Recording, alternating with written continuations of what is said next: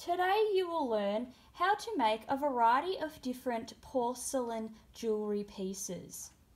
This will include a beaded necklace, some studs, a ring, a bangle,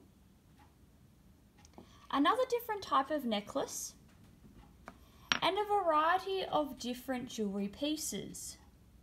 I will show you how to colour the clay and then how to create these individual pieces.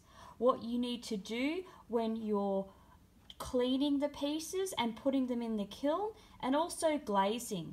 And then I'll finish off with lustering and the essential part of connecting the pieces together using jewellery findings.